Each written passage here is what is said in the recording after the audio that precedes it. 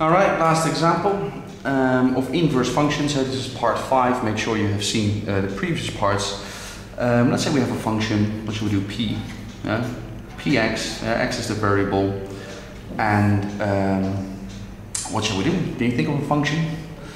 Uh, I'm just making it up. What shall we do? Minus 5,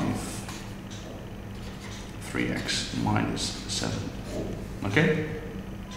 And we have to find the inverse function and then evaluate it for minus, uh, 7. Okay, so that is the question. Find the inverse function of p and evaluate it for x minus 7. Okay, so y equals minus 5, 3x minus 7. Okay, I've explained all of this already in previous videos.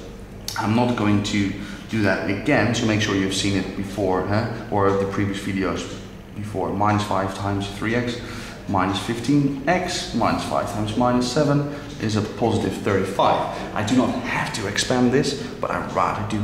Okay, so to find the inverse, rather than px, I write y. Personally, I like to expand it first, but now to find the inverse, I swap x and y.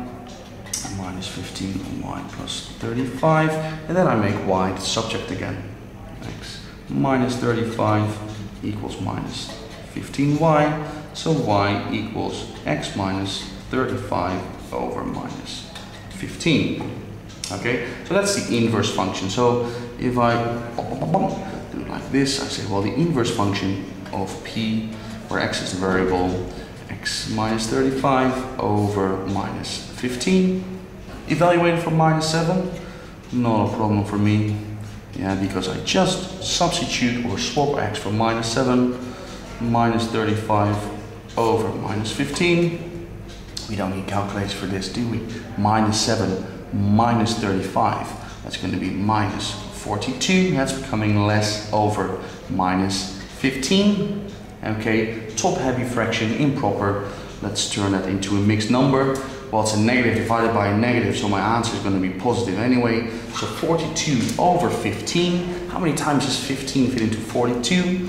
Well, it's 15, 30, 45. That's too much, so it's going to fit in twice, which is 30. My remainder then is 12 over 15. I see common factors. Yeah, I see a common factor of 3, so it's 2, 4 over 5. Now your calculator can do that also for you. However, it is important that you are able to do it by yourself as well. Okay, that you are able to play with these numbers without being afraid. Okay, so for the function p minus 5 brackets 3x minus 7 bracket, the inverse function of it equals x minus 35 over minus 15, and to evaluate it for minus 7, you get to 4 over 5.